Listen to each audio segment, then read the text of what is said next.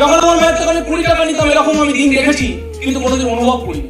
এরকমই আমি দিন দেখেছি, আমার মা বিছানার চাদরের নিচ থেকে ড্রয়ার খুলে এখান থেকে ওখান থেকে কুড়ি টাকা এবং যখন কুড়ি টাকাটা আমাকে ট্রেনিংয়ের সময় দিতে পারেনি, তখন আমার সবে স্মার্ট ভ্যালুতে তিন মাস সবে স্মার্ট ভ্যালুতে চার মাস। অনেকে তো আছে তিন মাস, চার মাস, এত দুর্ভাগ্য মানুষ আছে যারা তিন মাস, তিন, চার মাসে স্মার্ট ভ্যালু ছেড়ে চলে যায়। আমার তো তিন, চার মাসে তো আমার বোধ বুদ্ধিও হয়নি স্মার্ট ভ্যালুতে কিন্তু ভগবানের একটাই দয়া ছিল, আমি কোনোদিন ছেড়ে যাইনি। আছে তিন চার মাসে স্মার্ট ভ্যালু ছেড়ে বেরিয়ে চলে যায়। কিন্তু আমি হয়তো ছেড়ে যাইনি, আমিও ক্যাজুয়াল ছিলাম, কিন্তু ছেড়ে যাইনি। কখনো দেখছি মাকে এখান থেকে টাকা খুঁজছে ওখান থেকে টাকা খুঁজছে যখন টাকা দিতে পারছে না, তখন কি করলে? পাশের বাড়ির কাকিমার কাছে গিয়ে বললে, বৌদি, কুড়ি টাকা দেবে বিকালে দিয়ে দিচ্ছ বাবা। পাশের বাড়ির কাকিমা কুড়ি টাকা দিচ্ছে, তারপরে ওই কুড়ি টাকা নিচ্ছে আর কুড়ি টাকা নিয়ে ছেলে ট্রেনিং এ বেরোচ্ছে, মা জানে ছেলে ট্রেনিং যাচ্ছে। মাও জানে এখানকার ফিউচার কি আছে যখন মা প্রথম আমার সাথে কাউন্সিলিং অ্যাটেন্ড করে মানে আমি যখন কাউন্সিলিং এ গেছিলাম, তখন আমি আমার মাকে নিয়ে গেছিলাম। আর পিছনে একটা বড় হিস্ট্রি আছে, কেন আমি আমার মাকে নিয়ে গেছিলাম? তো যখন গেছিলাম কাউন্সিলিং এ, যে মানুষটা আমার কাউন্সিলিং করেছিল, সেই মানুষটার কথাবার্তার মধ্যে একটা আলাদা পজিটিভ পাওয়ার ছিল। যে পজিটিভ পাওয়ার শুনে আমার মা মনে করেছিল, না, ছেলেকে এখানে অ্যাডমিশন দেওয়ানো উচিত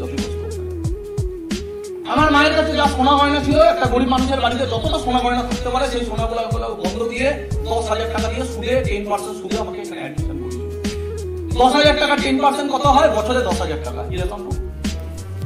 দশ হাজার টাকা টেন পার্সেন্ট কত হয়। মাসে এক হাজার টাকা, বছরে দশ বারো হাজার টাকা। বড় দশ বারো হাজার টাকা, বছরে সুদ দিতে হবে। মাসে টেন পার্সেন্ট সুদ দিতে হবে সুদ নিয়ে আমি এখানে অ্যাডমিশনটা নিয়েছিলাম।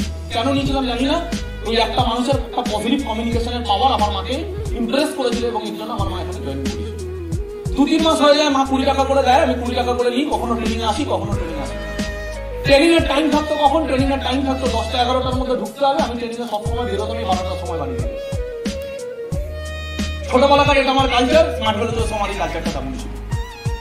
আমার দু চারটে বন্ধু বান্ধব ছিল, যারা তার মধ্যে কিছু জন ছিল আমার সিনিয়র কিছু জন আমার জয়েনিং করে গেছিল, আমাকে দেখা দেখি জয়েনিং করেছিল তারাও আমার সাথে বারোটার সময় বেরোতো। বারোটার সময় যখন আমরা ট্রেনিং থেকে বেরোতাম, কখন আগে বেরোতাম, কখনো পরে বেরোতাম, যখন বেরোতাম, আমরা যে ট্রেনিং হলে গিয়ে ট্রেনিং নিতাম, সেই ট্রেনিং হলের ক্যাপাসিটি ছিল সাতশো জনের। কিন্তু ওখানে মানুষের ভিড় হতে, দেখা গেল দেড় হাজার, দু হাজার। এতটা ছোট একটা হল ছিল সেই ছোট হলে সাতশো জনের জায়গা সেখানে দু হাজার মানুষ ইয়ে করছে এসি কাজ করছে না, মাটি ভিজে গেছে ঘামে। পাশে বাথরুম বাথরুম পাশে দুর্গন্ধ মানে দাঁড়ানো যায় না। এত ভিড়। মানে এক একজনকে দেখছি পা উঁচু করে এক পা খাড়া হয়ে আরেকজনের পিঠে ট্রেনিং দিচ্ছে, ওখান থেকে দূর থেকে যখন ওখানে দাঁড়াতাম, কিছুক্ষণ দাঁড়ানোর পরে, আধা ঘণ্টা দাঁড়ানোর পর আমার সফোকেশন হতো, দম আটকে যেত। যতই চেষ্টা করতাম, আমি ট্রেনিং নিতে পারতাম আর আমি ঢুকতাম দেরি করে। এবং মাঝে মাঝে মনে তো কি হবে ঢুকে আজকে? সিট ফিট তো পাবো না, পাখা খাওয়া খাওয়া তো পাবো না। এবং যারা আমার সঙ্গে সঙ্গে থাকতো, আমি তাদেরকে কি করতাম? তাদের মাথায় পুতুলি বুদ্ধি ভরতাম। পারছি তাদেরকে নিয়ে কি করতাম? তাদেরকে ক্যাজুয়াল করতাম, তাদেরকে ক্যাজুয়াল করে তারা ট্রেনিং এর মতো নিয়ে আমার বাড়িতে আসতো। এবং যখন বেরোতাম, সেখান থেকে দাঁড়িয়ে বিগ বাজারে ঘুরতে। যাচ্ছি প্যান্টাল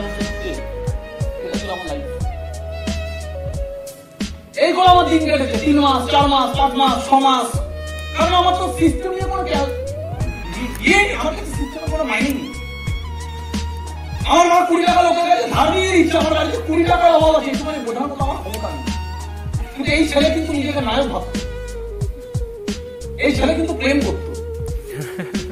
এই ছেলের ভেতরে একটা দুঃখ ছিল। কিসের দুঃখ? ছেলের ভেতরে একটা দুঃখ ছিল, সেই হলো যাকে সে ভালোবাসে, তাকে না পাওয়ার দুঃখ। তার মায়া বাবা সকালবেলা রিক্সা চালাতে বেরিয়ে যায়। রোগে ভোরবেলা রিক্সা চালাতে বেরিয়ে যায়। বাবা যখন জামাটা পরে, বাবার এই পাশে জামার পিছনে এখানটা ফাটা। লুঙ্গি বেরো বেরোচ্ছে। সেগুলো আমার চোখে লাগতো না, সেগুলো নিয়ে আমার দুঃখ লাগতো না। আমার মা কুড়ি টাকা লোকের কাছ থেকে ধার করছে, বিছানার চাদর, ড্রয়ার খুলছে লোকের কাছে কুড়ি টাকা ধার করছে। সেটা নিয়ে আমার বড় দুঃখ। আমার মা বাবা পুরো জীবন কাটিয়ে দিয়েছে কোনোদিন কোনো ভালো জায়গায় ঘুরতে যায়নি। সেটা নিয়ে আমার কোনো দুঃখ। আমার মা বাবা কোনোদিন রেস্টুরেন্টে দরজা ফেলার মতো নেই কারণ তারা এতটা গরিব ফ্যামিলি থেকে সেটা নিয়ে আমার কোনো আমার দুঃখ ছিল, আমি যে কোচিনে পড়তাম সেই কোচিনে আমি নায়ক ছিলাম, আমি যে মেয়েটাকে ভালোবাসতাম, সে আমাকে পাত্তা দিচ্ছে আমার জীবনে। স্মার্ট তো কুড়ি টাকা যখন ধার করে আমি ট্রেনিং বাঞ্চ মেরে ঘুরতে যেতাম, ঘুরতে গিয়ে বিগ বাজারে যে একটা সুন্দর টিভি দেখে তিন লাখ টাকা টিভি সোনি দ্রাবিয়া দেখে মনে মনে ভাবতাম কাজ যদি এই টিভিটা আমার বাড়ি থাকতো কতটা গন্ডমূর্খ কিন্তু র্যাঙ্কিং স্টুডেন্ট ছিলাম আমি।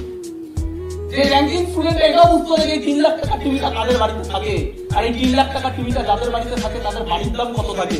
আর যত বাড়ির দাম থাকে সেই বাড়ির ইএমআই তুলতে কত খরচা হয়? আর তার জন্য তাকে কোন প্রফেশনে থাকতে হয় কত টাকা মাইনে হয়? এত বড় প্ল্যানিং বোঝার মতো বুদ্ধিমত্তা আমার ছিল না। বাট আমি। আমি র্যাঙ্কিং স্টুডেন্ট ছিলাম স্কুলে এটা হলো আমাদের দেশের পিকচার আমি কথাগুলো বোঝাতে পারছি? বোঝা এটা হলো আমাদের দেশের পিকচার